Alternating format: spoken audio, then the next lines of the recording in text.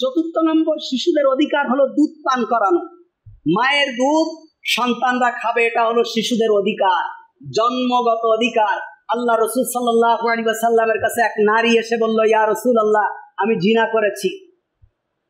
বিরাট লম্বা কাহিনী। আল্লাহ রসুল সাল্লাহ তার দিক থেকে তিনবার মুখ ফিরিয়ে নিলেন। চতুর্থবার সে নারী বললেন, ইয়া রসুল আল্লাহ আমি জিনা করেছি, আমাকে শাস্তি দেন। আল্লাহ রসুল বলছেন, তুমি কি পাগল? সাহাবিদেরকে বললেন, সে কি পাগল? বলল, না। ইয়া রসুল্লাহ সে সুস্থ। তুমি জানো না, ব্যবিচারের কি শাস্তি? তোমাকে বুক সমান পুঁতে পাথর মেরে ফেলা হবে। বলছি আর রসুল্লাহ তা মারেন সমস্যা নেই, কারণ আমি ব্যবিচার করে ফেলেছি। কেমতের দিন তা না হলে আমাকে জাহান নামে যেতে হবে। আপনার শাস্তি দিয়ে পৃথিবীর থেকে যদি আমি চলে যাই জাহান নামের আগুন থেকে আমি বেঁচে যাব। আল্লাহ রসুল সাল্লাম বলেছেন, তুমি কি জিনা করেছ? এই জিনার কি কোনো ফসল হয়েছে? বলল, ইয়া রসুল আল্লাহ হ্যাঁ আমার পেটে একটা বাচ্চা আছে। আল্লাহ রসুল বললেন, বাচ্চাকে প্রসাব করে আসো। ওই বাচ্চা প্রসাব করে যখন শিশুটাকে কোলে নিয়ে এসে বললেন, ইয়া রসুল আল্লাহ আমার ব্যবিচারের শাস্তি দিন। আল্লাহ রসুল বললেন, না, তোমার বুকে ওই বাচ্চার হক আছে। তোমার বুকের দুধ খাবে ওই বাচ্চার জন্মগত অধিকার, মায়ের দুধ সন্তান পালক খাওয়া। সুতরাং ওই বাচ্চাকে তুমি দুধ পান করাও।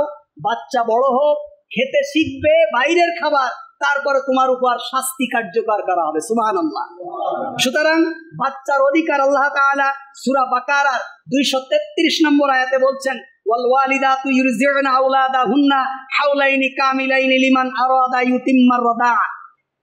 তাদের মাতাগণ সন্তানদের পূর্ণ দুই বছর দুধ পালন, পান করাবে। পূর্ণ দুই বছর যদি তারা সন্তানদের দুধ পালন করার মেয়াদ পূর্ণ করতে চায় আজকে অনেক মা তার সন্তানদেরকে দুধ খাওয়ায় না। কেন খাওয়ায় না? দুধ খাওয়ালে বলে শরীরের ফিটনেস নষ্ট হয়ে যাবে, চেহারার লাবণ্যতা নষ্ট হয়ে যাবে। এই ধরনের মা অভিশপ্ত। যে যে মা তার সন্তানের হক থেকে সন্তানকে বঞ্চিত করেছে, কেয়ামতের দিন এই হকের জন্য আল্লাহ সুবাহ তাকে জিজ্ঞেস করবেন। আর পৃথিবীর যত ধরনের প্রোটিন আছে, যত ধরনের খাবার আছে, আজকের বিজ্ঞান বলছে একটা সন্তানের দুই বছর পর্যন্ত মায়ের দুধের উপরে আর পৃথিবীর কোনো প্রোটিন, কোনো খাবার এর সমকক্ষ না। সুবান আল্লাহ আল্লাহ তাআলা এই দুধ মায়ের বুকের ভিতরে রিজার্ভ করে দিয়েছেন। আমি আগের দিনও বলছিলাম, অনেক জায়গায় এখনও এই কুপ্রথা আছে।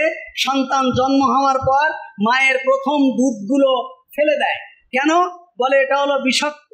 নাউজবিল্লাহিক আল্লাহ তাআলা মায়ের বুকের ভিতরে বিষাক্ত দুধ কেন দেবেন?